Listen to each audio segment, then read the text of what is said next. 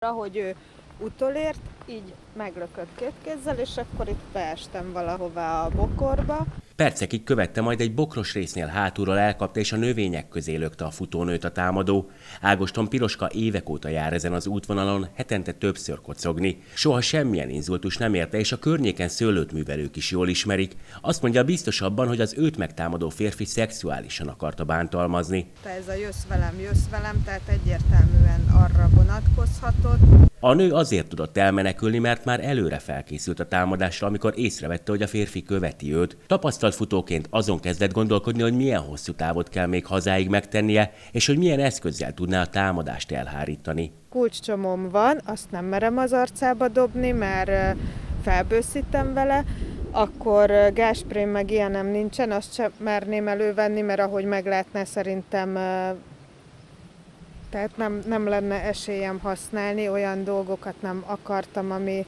tehát olyan, olyan dolgokkal az ember nem kezd el ilyenkor kísérletezni, ami, amiben nincsen gyakorlata. Ezért végül a menekülést választotta, ez volt a szerencséje. A támadó ugyanis nem bírta a tempót, a nő pedig találkozott egy mezőrrel, akitől segítséget kért. Együtt hívták a rendőrséget is. A támadót végül órákon belül elfogták, amivel azon kívül, hogy fellökte a futónőt, nem tett mást, nem volt miért letartóztatni.